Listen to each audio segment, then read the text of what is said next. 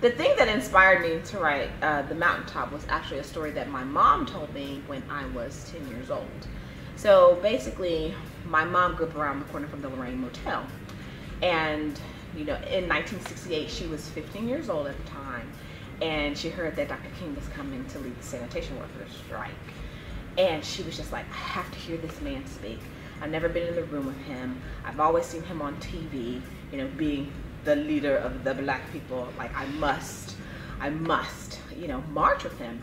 So she actually ended up um, participating in one of the marches, and that was actually a march that descended into chaos. Um, a guy who lived uh, one street over from her, Larry Payne, 16 years old at the time, he ended up being killed by police. They said he was stealing a TV, but people in the neighborhood knew that that's not what happened.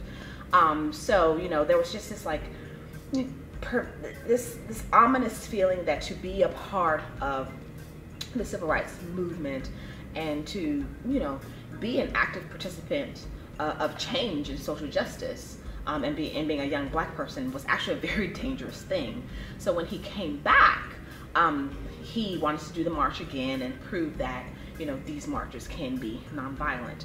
Um, but my mom asked her mom, "Can I go and hear Dr. King speak?" He was scheduled to speak at the Mason Temple that night, um, April 3rd, 1968, and you know, Big Mama was like, "You better sit your butt down. You know you ain't going nowhere because you know it's dangerous. People are out to get that man."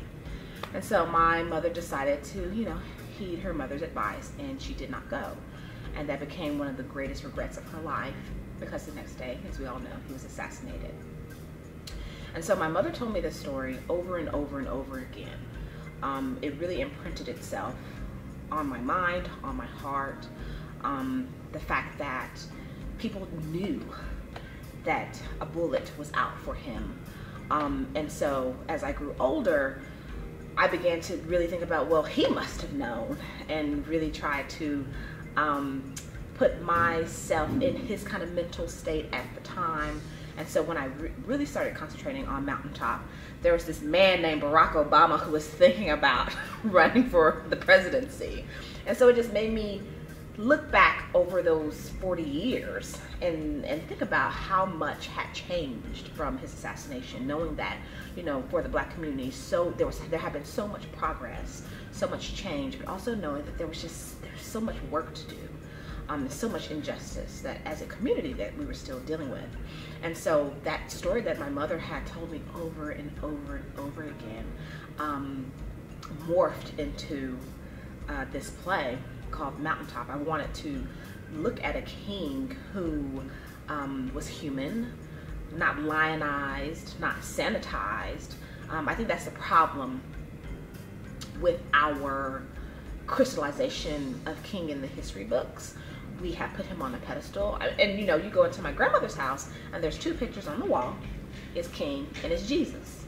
And that's what we think of him. Um, but for me, it was just really important to um, pull him down off of that pedestal, examine him, look at all the cracks and crevices that I know he as a human and also as a leader um, had. Um, but what's very interesting about the play is I also wanted to um, have him battling a protagonist slash antagonist that was um, the, equal to him, but also antithetical to him. And so I created this maid named Camae, who was named after my mother. So it was this very, um, you know, weird way to put my mother in the room with him when she didn't get that opportunity in 1968.